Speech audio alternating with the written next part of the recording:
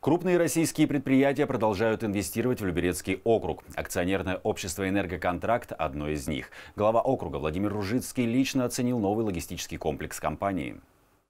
Эта спецодежда сотни раз спасала жизни людей в аварийных ситуациях. Уже 20 лет группа компаний «Энергоконтракт» производит средства индивидуальной защиты для энергетиков, сварщиков, газовиков, нефтяников, металлургов и спасателей. Технологии у предприятия самые передовые, планы развития амбициозные. Вот это предприятие я оцениваю, что оно суперсовременное, здесь используются нанотехнологии. В России равных нет, я э, говорю с руководством, и что-то подобное есть у американцев. И по объемам а, производства э, вот эта компания э, «Энергоконтракт», скорее всего, выйдет на первое место в мире.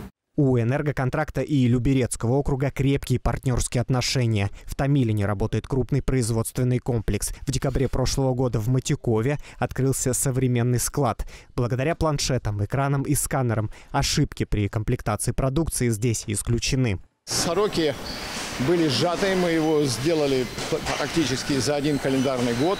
Вот. Вообще это беспрецедентная вещь от нуля и до того, что вы видите на сегодняшний день. Постоянно инвестировать в производство позволяет наличие у компании крупных отраслевых клиентов, таких как Мосэнерго, Газпром, Лукойл, РЖД. Через два года в Томилине построят предприятие площадью 4100 квадратных метров. Округ получит 120 новых рабочих мест. Александр Колганов, Сергей Гвоздев, телеканал ЛРТ.